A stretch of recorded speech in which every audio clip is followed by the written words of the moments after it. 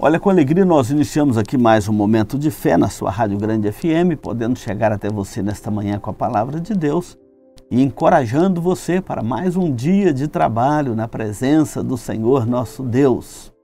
Lembrando que você pode compartilhar este programa pelas redes sociais da Grande FM e também assisti-lo ao vivo, com imagens direto aqui dos estúdios da Rádio Grande FM.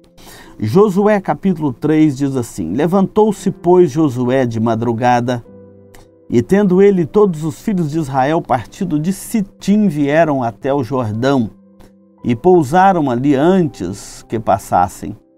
Sucedeu ao fim de três dias que os oficiais passaram pelo meio do arraial e ordenaram ao povo, dizendo: Quando virdes a arca da aliança do Senhor vosso Deus, que os levitas, sacerdotes, a levam, partireis vós também.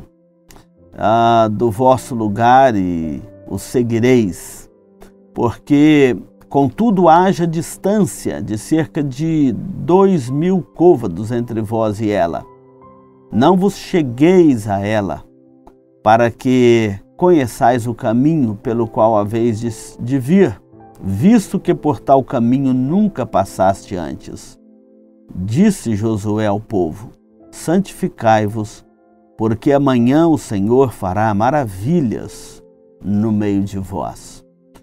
É maravilhoso quando nós começamos o nosso dia sob a orientação da palavra do Senhor nosso Deus. É o que está acontecendo aqui neste texto. O povo de Israel haveria de adentrar na terra prometida, eles começariam uma nova etapa e a mais preciosa etapa da sua jornada. E eles deveriam começar este dia sob a orientação do Senhor. O texto aqui diz que eles levantaram de madrugada. Josué, o grande líder agora com a morte de Moisés, ordenou que o povo de Israel partisse do seu arraial e vieram até o Jordão e ali pousaram por um tempo. Quando você lê esse texto, você precisa, para o entendimento dele, saber que foi um dia de enchente e que o Jordão, as águas da enchente eram grandes e transbordava sobre as ribanceiras do rio. Era uma inundação.